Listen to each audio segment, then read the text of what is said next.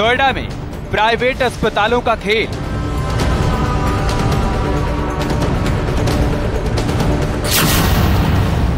सरकारी जाँच में डेंगू रिपोर्ट फेल।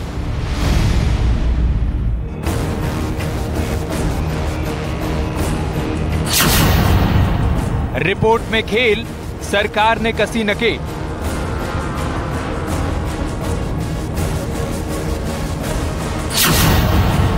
नेगेटिव मरीजों को पॉजिटिव बनाया।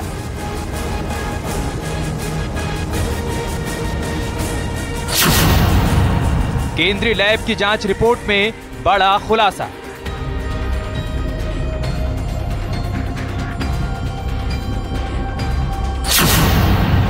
डेंगू के नाम पर मरीजों से लूट।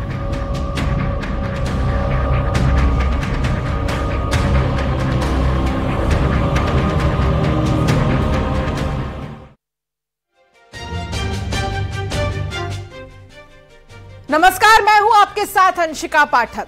नोएडा में डेंगू के इलाज के नाम पर जमकर फर्जीवाड़ा सामने आया है।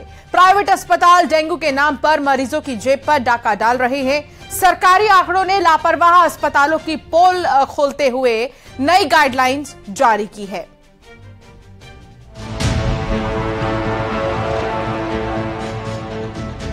बरसात के मौसम में डेंगू मरीजों की संख्या बढ़ने से अस्पतालों में भीड़ शुरू हो जाती है। लेकिन इस बीच नोएडा से एक चौंकाने वाली खबर सामने आई है, जिसमें निजी अस्पताल मरीजों के इलाज के नाम पर उनके जेब पर डाका डाल रहे हैं। डेंगू के नाम पर प्राइवेट अस्पतालों का खेल जारी है। आपको बता दें, ये हम नहीं आंकड़े बयां कर रहे हैं। गौतम बुद्ध नगर में दो डेंगू की लैब हैं जहाँ पर रिपोर्ट होती है। बात करें तो जिला अस्पताल में एक हज़ार 224 एलाइजा के टेस्ट आए थे, जिसमें से 204 ही डेंगू की पुष्टि हुई है। बाकी 1000 से ज़्यादा ऐसे मरीज़ हैं जिनका प्राइवेट अस्पताल डेंगू बताकर इलाज कर रहे हैं। दरअसल जिला स्वास्थ्य विभाग की तरफ़ से तैयार रिपोर्ट में प्राइवेट अस्पतालों की मनमानी की रिपोर्ट सामने आई है। रिपोर्ट के मुताबिक, नोएडा में अब तक 1224 नमूनों की सरकारी अस्पताल की केंद्रीय लैब में एलाइजा जाँच हुई है, जिसमें सिर्फ़ 201 की रिपोर्ट ही पॉजिटिव आई है। बाकी 1023 नमूनों की जाँच में मरीजों में डेंगू की पुष्टि नहीं हुई है। अभी हमने ये किया है कि जैसे प्राइवेट लैब्स हैं या प्राइवेट हॉस्पिटल्स हैं, अगर वो डिक्लेयर कर रहे हैं तो पहले की तरह उनको दो सैंपल ड्रॉ करने पड़ेंगे। एक सैंपल अगर उनके यहाँ पॉजिटिव आता है तो उस पॉजिटिव सैंपल को हमारे क्रॉस चेक कराना पड़ेगा। अच्छा ये व्यवस्था अब शुरू कर दी गई जी बिल्कुल ये लागू कर दी गई है और इस पे काम भी शुरू कर दिया है। दो मुझे ऐसी कोई शिकायत अगर मिलती है तो उसको फिर हम क्लिनिकल एस्टेब्लिशमेंट एक्ट है उसके अंतर्गत हम इसमें कार्रवाई कराएँगे और हो सकता है कि उस लैब का हम जो रजिस्ट्रेशन भी कैंसिल करो। स्वास्थ्य विभाग ने अब निजी अस्पतालों पर नकेल कसने की तैयारी कर ली है। नोएडा से खबर आने के बाद सरकार की ओर से निजी अस्पतालों को गाइडलाइन भी जारी कर दी गई है जिसमें डेंगू के टेस्ट के लिए मरीजों के दो सैंपल लिए जाएँगे। प्राइवेट लैब में पॉजिटिव पाए जाने पर दोबारा टेस्ट होगा। दूसरा टेस्ट जिला हॉस्पिटल में क्रॉस चेक होगा। गड़बड़ी पाए जाने पर लैब पर कार्रवाई होगी। जो टेस्ट होगा, एलाइजा टेस्ट होगा, वो दो सैंपल लिए जाएँगे। दो सैंपल में से एक सैंपल अगर प्राइवेट अस्पताल में पॉजिटिव आता है तो दूसरा सैंपल यहाँ की लैब में भेजा जाएगा ताकि उसको क्रॉस वेरीफाई किया जा सके। न्यूज़ 18 ने मेरठ मंडल के स्वास्थ्य विभाग के ज्वाइंट डायरेक्टर से इस मामले में भी बात की तो उन्होंने भी सख्त कार्रवाई की बात कही है। इस पे सीएमओ नोएडा निश्चित रूप से इस पे एक्शन लेंगे और यहाँ से भी लगातार निर्देश इस तरीके के हैं। अगर किसी कोई भी अस्पताल इस तरीके से गलत तरीके से इलाज करता हुआ पाया जाएगा तो निश्चित रूप से उस पर कार्रवाई होगी। फ़िलहाल नोएडा के निजी अस्पतालों पर कार्रवाई की बात हो रही है क्योंकि विभाग को ये भी अंदेशा है कि निजी अस्पतालों की मनमानी से विभाग को डेंगू मरीजों के सही आंकड़े नहीं मिल पा रहे हैं। इसका मतलब साफ़ है कि नोएडा में निजी अस्पताल कुछ न कुछ तो गड़बड़ कर रहे हैं। हर डेंगू के मरीज़ को भर्ती करने की ज़रूरत नहीं होती। ज़्यादातर मरीजों का घर में इलाज किया जा सकता है। अगर सिम्टम्स माइल्ड हैं और उसके प्लेटलेट्स एक क्रिटिकल लेवल से ऊपर है तो आप घर में इलाज कर सकते हैं। उन्हीं को भर्ती करने की ज़रूरत होती है जिनका लक्षण बहुत ज़्यादा है। बुखार बहुत हाई ग्रेड है बॉडी में चकत्ते आ रहे हैं ब्लीडिंग का डर है या ब्लड प्रेशर कम हो रहा है। वहीं senior physician doctor M Oli का रुख थोड़ा अलग है।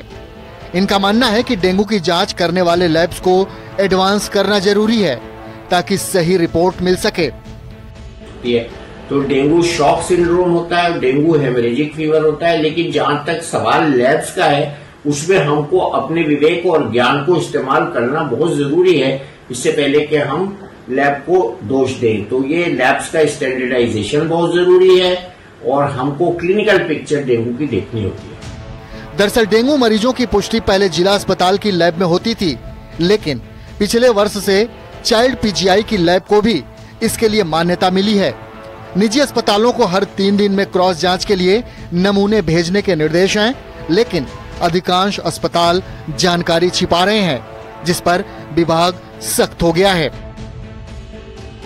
ये अब स्वास्थ्य विभाग ने सख्त कदम उठाया है। फ़िलहाल जिस तरीके से आंकड़े आए हैं, वो हकीकत जमीनी स्तर पर कुछ और ही बयां कर रहे हैं। कैमरामैन बीनू बाजिल के साथ हिमांशु शुक्ला, न्यूज़ 18 नोएडा। तो न्यूज़ 18 की खबर का बड़ा असर हुआ है। स्वास्थ्य विभाग ने बड़ा आदेश देते हुए कहा कि डेंगू की पुष्टि के लिए एलाइजा टेस्ट ही मान्य होगा। रैपिड कार्ड प्लेटलेट्स के आधार पर ही डेंगू की पुष्टि न करें, ऐसे हॉस्पिटल पर कार्रवाई होगी, ये स्वास्थ्य विभाग ने कहा है। तो बड़ा असर न्यूज़ 18 की खबर का हुआ है। यहाँ पर एलाइजा टेस्ट ही मान्य होगा, ये हेल्थ विभाग ने कह दिया। डेंगू टेस्ट को लेकर स्वास्थ्य विभाग के इन गाइडलाइंस को जिसने नहीं फॉलो किया, उस पर कार्रवाई भी हो सकती है।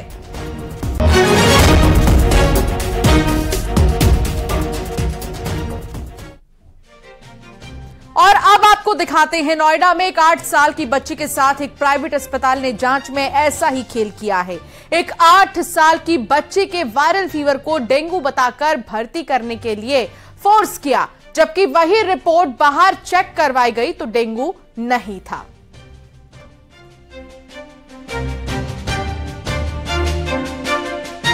श्वेता जी, आपकी बेटी कुछ सिम्टम्स क्या थे और आप जब अस्पताल गई तो डॉक्टर्स ने क्या कहा था? जी मेरी बेटी जो आठ साल की है उसे पिछले एक सप्ताह से फीवर आ रहा था। बस फीवर उसे हाई आ रहा था मतलब 103 डिग्री टू 104 डिग्री तक जा रहा था और उसे कोई सिम्टम्स नहीं थे। ओनली फीवर था no pain in body and no vomiting no any problem तो जब आप अस्पताल गए डॉक्टर्स को दिखाया आपने तो डॉक्टर से क्या बातचीत हुई और डॉक्टर्स ने क्या कहा आपसे? डॉक्टर ने मुझे यही बताया कि आप इसे एडमिट कर दो। मुझे डेंगू का डाउट है। हम टेस्ट करवाते हैं। उसके बाद मैं कंफर्म करूँगा लेकिन अभी आप एडमिट कर दो। जब आपने डेंगू के टेस्ट कराए वो टेस्ट लगभग अगर बात करें तो कितने पैसे खर्चा हुए उस दौरान? मुझे लगभग पाँच हज़ार रुपये खर्च हो गए टेस्ट करवाने में। मैंने अस्पताल में भी करवाया बाहर से भी करवाया। क्योंकि डॉक्टर का कहना था कि हम कंफर्म करना चाहते हैं हम क्रॉस टेस्ट करवाएँगे। तो मैंने दो बार टेस्ट करवाए थे मुझे पाँच हज़ार रुपये लग गए थे। तो टेस्ट में क्या निकल के आया? टेस्ट में बस वही था प्लेटलेट प्लेटलेट्स का कम थे और कुछ नहीं था।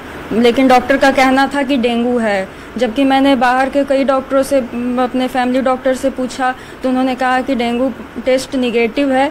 लेकिन यहाँ के डॉक्टर का कहना था कि फीवर डाउन नहीं हो रहा है तो आप एडमिट कर दो। फ़िलहाल जो मरीज़ है वो पूरी तरीके से सेफ़ है। इलाज घर पे ही किया गया है। डेंगू जो डॉक्टर बता रहे थे और जो रिपोर्ट थी, दोनों अलग अलग थी। डॉक्टर जो अस्पताल के थे, वो लगातार ये कह रहे थे कि डेंगू है, लेकिन जो बाहर रिपोर्ट्स दिखाई गई हैं, उसमें डेंगू की कहीं पुष्टि नहीं थी।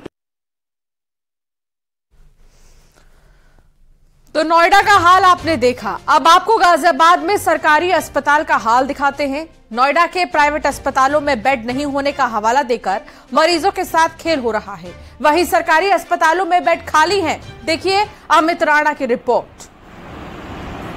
डेंगू बुखार के नाम पर जहाँ प्राइवेट अस्पतालों में जो तीमारदार हैं, जो मरीज़ है, उनसे एक मोटी रकम वसूली जाती है। वही सूरत हाल आपको सरकारी अस्पताल के दिखाना चाहूँगा। ये यहाँ का डेंगू वार्ड है और इस डेंगू वार्ड पे आप देख सकते हैं तमाम तैयारियाँ शासनिक, प्रशासनिक पूरी तरीके से हैं। स्वास्थ्य विभाग ने तमाम तैयारी की हुई है। वार्ड को अलग से बनाया गया है। साथ ही जो यहाँ पर मरीज़ आ रहे हैं, उनके लिए भी यहाँ मच्छरदानी आदि लगाई हुई है ताकि किसी को कोई भी असुविधा ना होने पाए। जहाँ एक और जो प्राइवेट हॉस्पिटल है, डेंगू के वार्ड के नाम पर या डेंगू के बेड के नाम पर लोगों से एक मोटी रकम वसूलते हैं और कई बार इस बात का हवाला देते हुए नज़र आते हैं कि उनके यहाँ बेड खाली नहीं है। ऐसे में यहाँ के हालात सरकारी अस्पताल के हालात मैं आपको दिखाना चाहूँगा।